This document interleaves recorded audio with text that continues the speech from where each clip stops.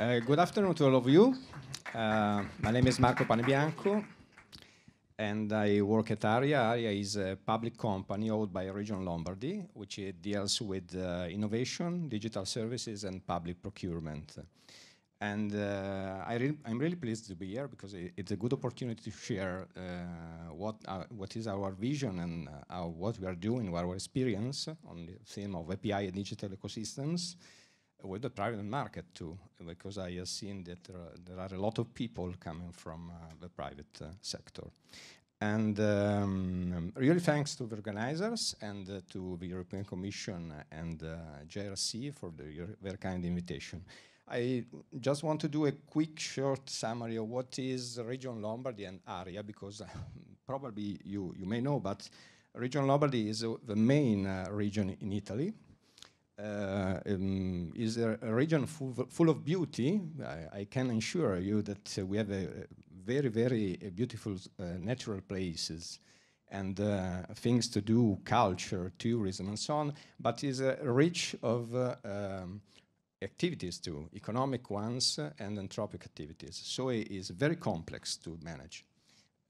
just to, to tell some numbers, we have 10 million citizens to, uh, to give something, something back. Uh, 1,500 municipalities, uh, about 800,000 private companies registered, and another uh, economic indicator is the gross domestic product is uh, comparable with one of some middle state members in European Union. Anyway, this is very complex um, scenario where we are working. And which is, what is ARIA? ARIA is a, a company owned by the region which deals with these uh, uh, activities. We uh, are uh, delivering services for uh, digital healthcare, for digital government.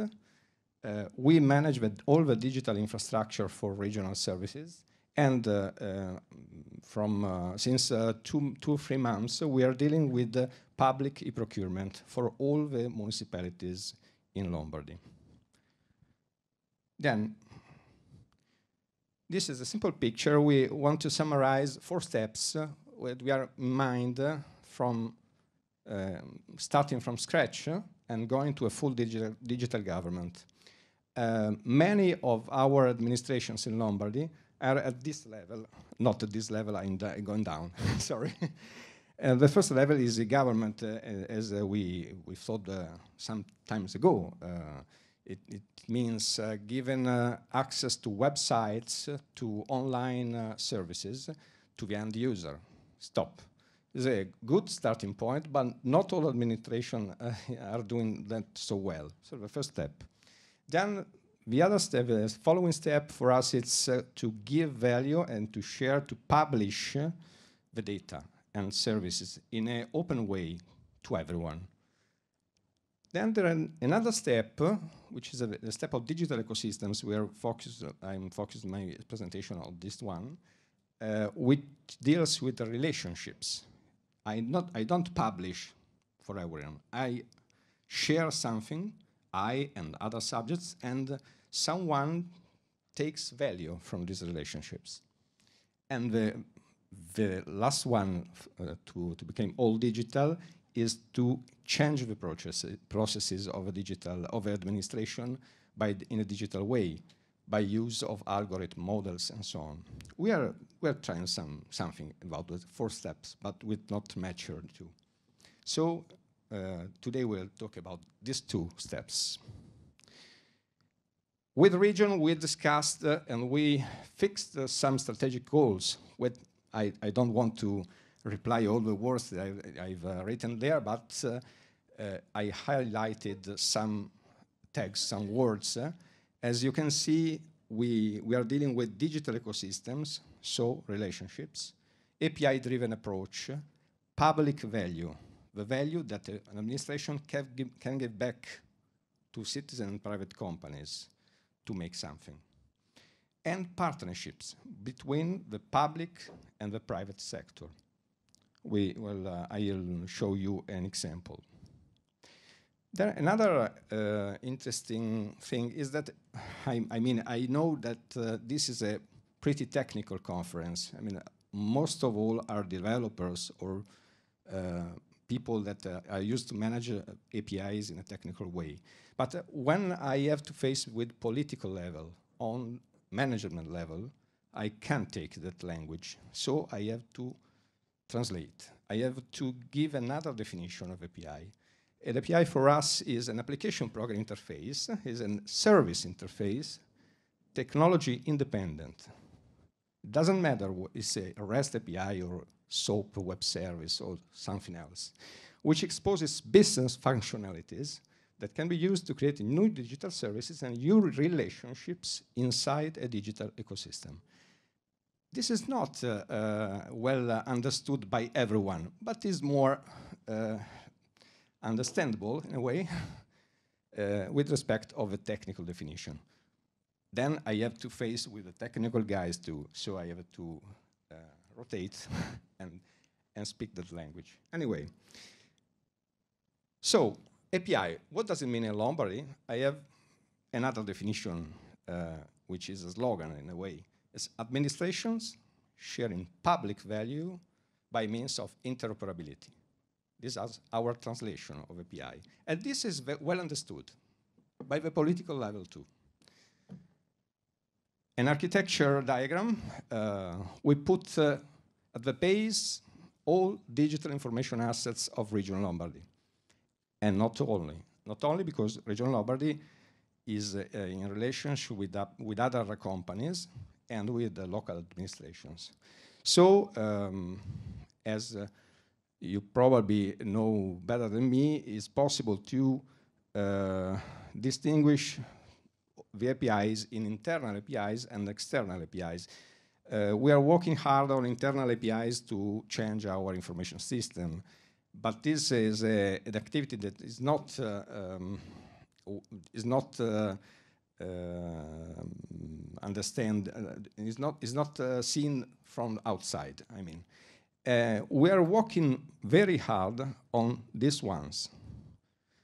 I mean, public APIs is a long story. Um, I mean, uh, uh, open data sets uh, accessible through APIs. I mean, geo-services uh, following the Inspire Directive uh, and other geo-services, which are delivered by a geo-portal. This is a story of some years ago we, we started the, public uh, exposure of uh, APIs and data more or less 10 years ago. And now we, are in a good uh, position to, to spread the value to someone else. But the open ecosystems are have as, uh, as a target uh, everyone, and we don't know who is everyone. Who is everyone? we publish something, and uh, on the other side, the consumer consumes the data, but we can't establish a relationship. So we don't know how and for what is using uh, the data or the geo services. So we have introduced uh, another level with the community level, which, uh, which is focused on community ecosystems. I mean, uh, um, an ecosystem in which uh, we have a lot of subjects that are working in sharing a, a common model, common policies, and we establish some relationship. We know what uh, a subject uh, is doing with uh, the API provided by another subject. Then we, other, we have another level two, we, uh, we call restricted APIs, and this is because not all the APIs uh, can be um, shared uh, with everyone.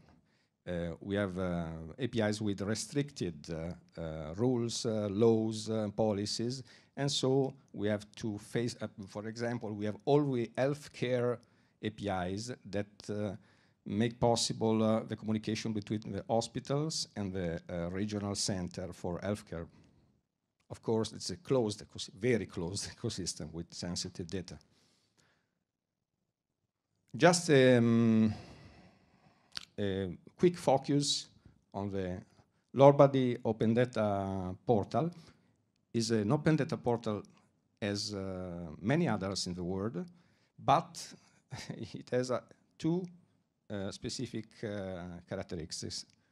One is the huge number of datasets, which are uh, uh, 1,300 datasets um, regarding a lot of themes or business domains. And the other is that uh, all uh, these datasets are accessible free by APIs, by everyone.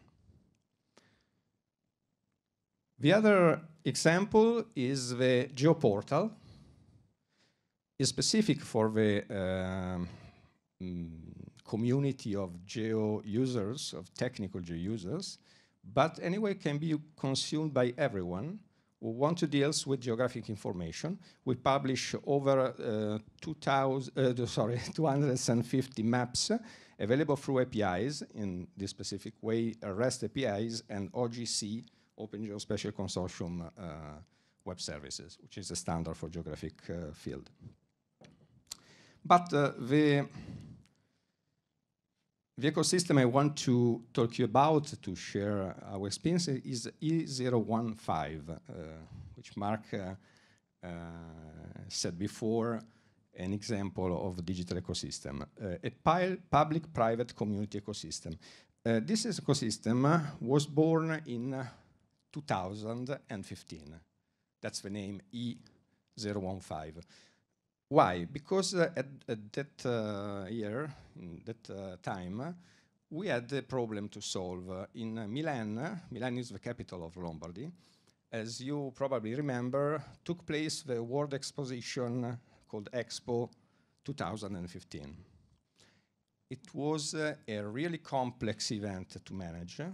And one of the first things were how can we put together all the providers of information about safety and security on the site of E01 of uh, World Exposition. So it was a local problem in a way.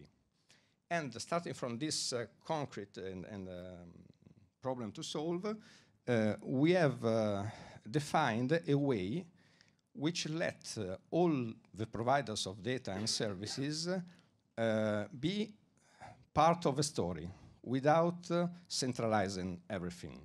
So uh, E015 is a model, it's not a platform, it's not a physical platform, but is a, a framework of policies, uh, rules, and uh, at the center there is a um, management, management board which is in charge uh, the validation of the requests for publishing APIs and uh, consuming APIs.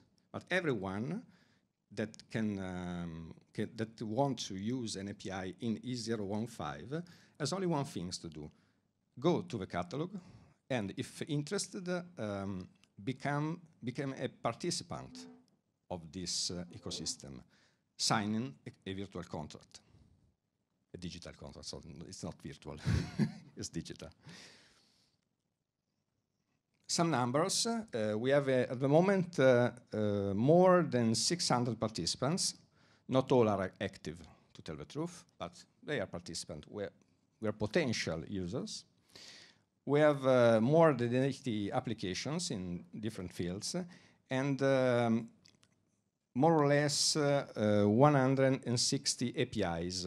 But the uh, focus is on the relationships, because uh, relationships, of, of, course, are the connection between a consumer and a provider, not only from a technical point of view, but from a business point of view. So if you have, want to make an app uh, about culture or tourism, you could have a, a need, the need to, to access to information about events, uh, museums, uh, um, natural places, and so on. And all this information um, are put in on the table by the owners, non, not by Region Lombardy. Region Lombardy is an enabler. Anyway, Region Lombardy puts their uh, own APIs in E015, in, sorry, in E015 too. E015 is in Italian, sorry. E015. So, two roles for Region Lombardy, enabler and uh, provider.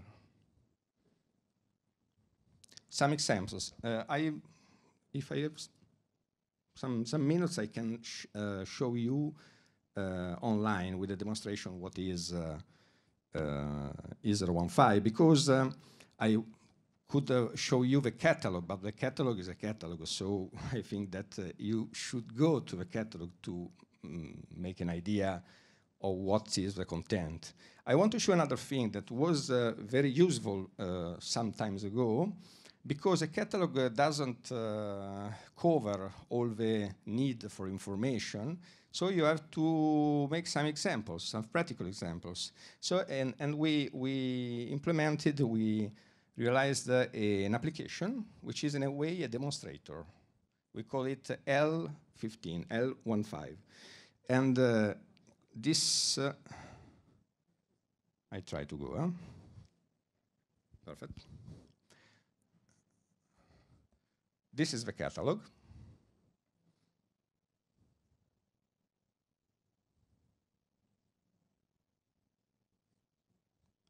Here are some examples of uh, the latest APIs published of different uh, kinds. The events, culture events in Cremona. Cremona is a Lombard city, very famous for culture. Uh, DAI, Region Lombardia, are the defibrillators. Uh, I don't know if it's the correct name. Defibrillators um, used uh, in healthcare emerg emergency. And that is the API that uh, gives information about all the DAI in Lombardy and so on. But what is the demonstrator? The demonstrator is this one. It's an application where we, we try to put uh, a sample of use of all the of part of the APIs uh, available in E015 to let the stakeholders understand what does it mean, what, what it means using an API. So we have, uh, for example, here all the culture places. Um, we have uh, real-time transport information here because some providers, uh, for example, the Milan Airport uh, company, gives uh, in a 0, in 015 the information about real-time flights. Um, we, we have uh, samples of a lot of kinds. I don't want to go uh, further, but if you want to go to take a, a direct uh, link, you can uh, use the endpoint. The, the URL is l15.regione.lombardia.it. Okay. I come back to the presentation. As I said before, uh, we have a lot of um, uh, examples in, in many, many business domains. Public transport were the first one, but we have some samples in commerce, culture and tourism, and most of all in safety and emergency. Is a, is a, a news of today that uh, um, Switzerland and Lombardy started a project to collaborate on safety and emergency at cross-border in Interreg uh, using the E015 model and trying to, to implement uh, a dashboard together. Okay, then then we have to face with closed ecosystems. So E015 is for community. Uh, there are other ecosystems which are for strict communities in a way healthcare, civil protection, urban planning, waste management. They are uh, uh, characterized by strong digital relationship, personal and sensitive data, high level of compliance to specific uh, laws or policies. I don't mean digital laws, I mean laws of a sector, agricultural laws, healthcare laws, and so on. And uh, at the moment, but we have a, a hope for the future, they are uh, mainly focused on the exchange, massive exchange of data or point to exchange between among systems and not for creation of new services for the end user. Yeah, they are a sort of backbone for information. What's next? Uh, we, we we think that we are at the beginning of the story. Uh, we have um, made a lot of uh, uh, kilometers. We, we, drove for a lot of kilometers, but we have a lot of things to do. And um, I'm in charge, I'm overseeing the uh, API governance initiative in Region Lombardy. And uh, this is the panel of actions that we have to face uh, from now on. We are working on. First, we are implementing an API marketplace. Why another catalog?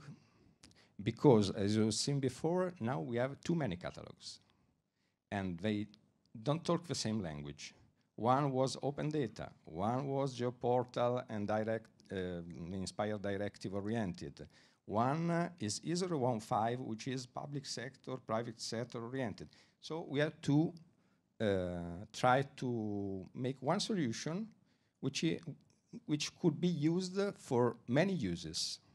This is the, our vision. Another important thing we are working on is API storytelling. Is a step over the cataloging of, of an API because uh, I can I can give the catalog to a to a policymaker, but he doesn't understand. He she doesn't understand what is it. So I, have to make some samples. And to make a sample, I can't implement every day another piece of, of software that uh, um, uses an API because it's very uh, difficult uh, to su sustain in the time. No? I don't make an app for every stakeholder. So we think that uh, um, a way could be the, to tell a story. Tell a story means tell a dynamic story. Tell a story in which uh, you can uh, uh show that the data are alive, the, the, the, API is alive. And we have prepared a little demo for this occasion.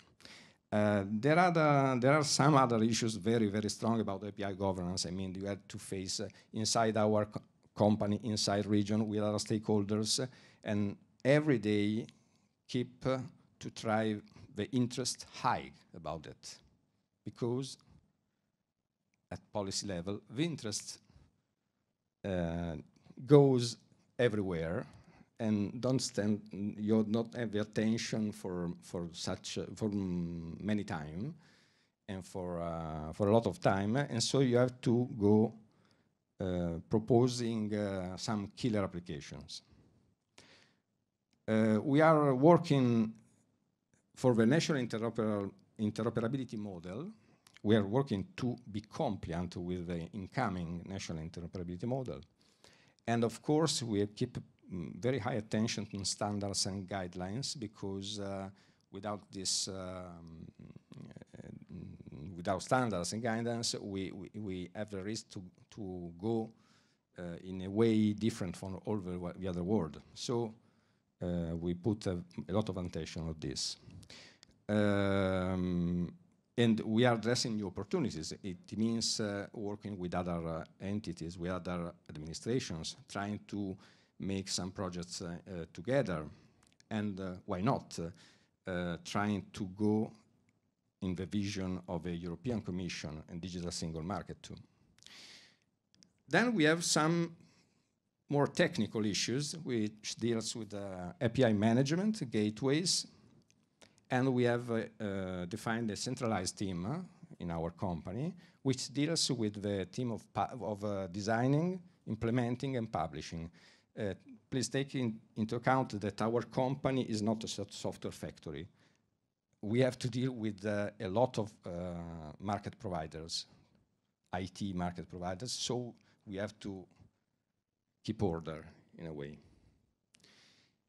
And the last one is very important because uh, Region Lombardy is uh, asking us, oh, who is using uh, the APIs? For what? Which could be the impact? And so we have to mix up uh, the uh, monitoring of APIs from a technical point of view, how many calls and so on, with the impact that uh, the use of that API could, could have on the users of the application that uses the API. And just to finish, this is a little sample of what we mean for uh, API storytelling. Uh, as you probably know, uh, in 2026 uh, in Milan, in Lombardy and Cortina will take place the uh, Winter Olympi Olympics. and so uh, we are trying to focus the evolution of our ecosystems based on API, even for that application. This is a sample. I can go to the politic, pol policymaker, say, well, we have an API. What is an API? We have an API which tells about natural parks. But what is an API? What can I do with it? And we show the policymaker this example. This is without code. Obviously, is not an application, is a story. We tell the story and give an evidence of the parks. Here you can say you can see uh, a natural park uh, which is near to my home. And uh, in this way, you can take this part of a story and merge it with another part of another story and uh, try to let the policymaker and the business or the business stakeholder understand what uh, he, she can do with that API mixed with others is an experimental uh, activity. We're trying to start it uh, uh, because we, mm, as I said before, we we don't have time, time and um, and money to make an example for each stakeholder. Starting from, so we have to manage with stories at the higher level. Okay, and that's it for the moment. Okay. Thank you. I really thank you for your attention and disposal for your questions. Questions for Marco? No. Uh, So then when you said, um, thanks for that, that was great. When you said that there was the link to the broader policies like the um, cultural or, or any other sort of policy, how, how do you document that or how do you, in that last slide you said you go to those policymakers in the departments and sort of demonstrate what's possible. But then when you're, so did your department, for example, identify which overarching government um, goals you want to try to say, hey, we can solve this with APIs, or how do you how do you align that work from where you are upwards? Uh, is a, a, complex answer. I mean, the way we use now is to um, to stay in touch with the uh, stakeholder and try to, un to understand the business needs uh, and the business constraints the legal constraints and so on. And so we translate into API. I, we don't give the, the, stakeholder the API and tell, okay, this is uh, for you, make your um, understanding, your evaluation of the legal on the laws, uh, if APIs is or not compliant and so on. No, we try to understand before is, is the core mission of our uh, company to understand uh, this level, the business demand, and uh, uh try to uh, implement, design, implement APIs which are compliant with the sector.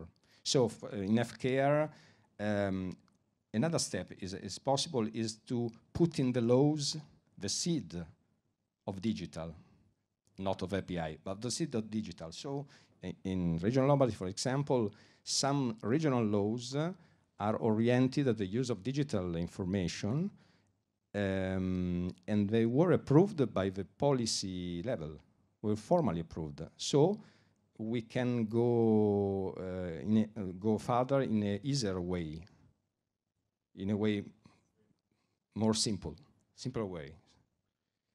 But not, um, we, we have to to share these uh, these uh, issues uh, before the laws are created or defined. So it's another level. It's before programming, not not not ET programming. I mean resource programming is the law definition.